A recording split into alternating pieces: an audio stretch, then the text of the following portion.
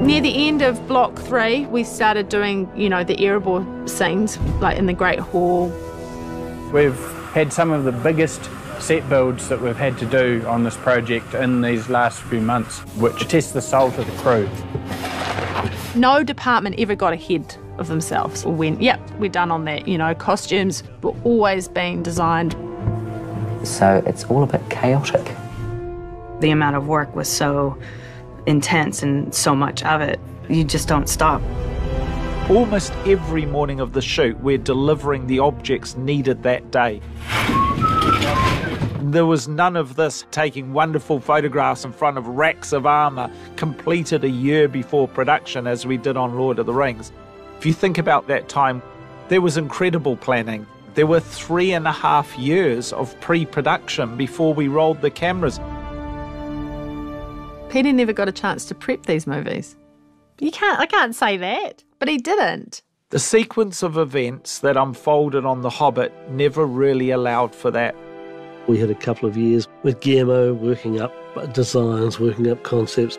And then because Guillermo del Toro had to leave and I sort of jumped in and took over, we didn't wind the clock back a year and a half and give me a year and a half prep to design the movie I was going to make, which was different to what he was doing.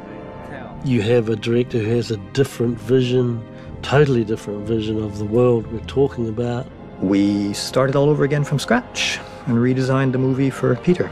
Cool, yeah, lovely. We were still shooting Tintin, and with little or possibly no preparation, we jumped straight into doing previs for The Hobbit. There was only a couple of weeks in between, where suddenly I was back in a gimp suit and playing Gollum for a couple of days. And a very tired Peter was coming in every day trying to put together the story. Then Peter gets sick. He's gone for six weeks. What that all eventuated in was a very short length of time, just a matter of a couple of months before we started shooting. Which is impossible. And as a result of it being impossible, I just started shooting the movie with most of it not prepped at all. And action. From then on, you're playing this huge chasing game because Peter is shooting. He's doing his 21 hour days, getting three hours sleep and doing another 21 hour day with the editing and everything else that's going on. And you don't ever get that prep time. You now have to plan on the go. You're laying the tracks directly in front of the train, and that chased us all the way to the end.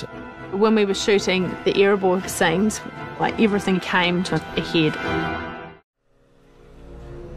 When you're going onto a set, very complicated, and you're winging it. You've got nothing to go on, no storyboards, no previs. You've got these massively complicated scenes, and you're just making it up there and then on the spot.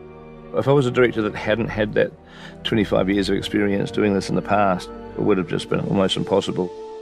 We would just tell the crew to take an extended lunch for an hour or so because I wanted to just get my head completely clear and be able to plot it through. I spent so much of The Hobbit feeling like I was not on top of it, with the fact that I hadn't much prep and I was making it up as I went along. And even from a script point of view, Philippa and Fran and I hadn't really got the entire scripts written all the way through to our satisfaction. So that was a very high pressure situation.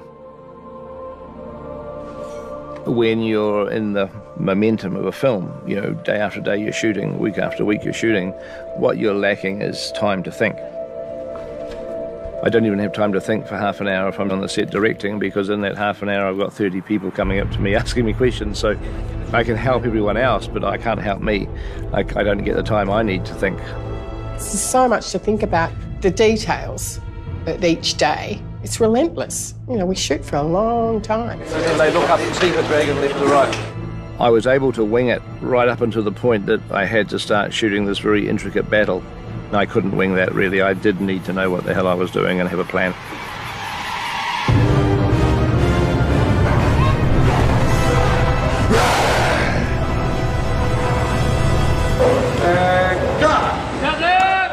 Started to basically shoot the Battle of the Five Armies. We were beginning to just bank a whole load of, of, of firefight elements. But the actual battle itself was a mystery to us. We didn't know what we were doing. Nothing had been formulated at all. So we were sort of waving around in the wind, really. Simply because I didn't know what the hell I was doing. I mean, there's no magical answer for it, and that's the truth of it. We had allowed two months of shooting for that in, in 2012, and at some point when we were approaching that, I just went to Zane and Caro, our producers, and ultimately talked to the studio and just said, you know what? Because I don't know what the hell I'm doing now, because I haven't got storyboards and prep in this three months that we've now got this battle, why don't we just finish earlier? And then there was a call from Zane saying, Andy, can I meet you? Where he said, Look, Andy, um, I just wanted to tell you that Pete's thinking that we're going to revisit this next year. And suddenly, very suddenly, we were finishing a few weeks earlier. Okay. All right, folks, so we have a plan. It was absolutely the right decision. You know, I think the, the second unit were quite shocked.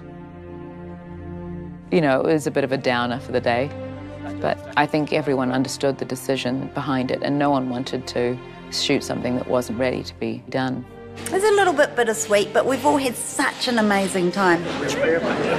Oh, that's awesome. That was fantastic. Thank you. Very good. Very good. Well, we've just finished uh, the Battle of the Five Armies in two days. No, I'm only joking. Of course, we haven't because we have just started it. Uh, the Battle of the Five Armies is going to take months. We now realise. And so, what that delay, any delay, gives you is it gives the director time to just clear his head and actually have some quiet time to sit and just wait for those bits of inspiration to come about the battle that you've got coming up and start to really put something together.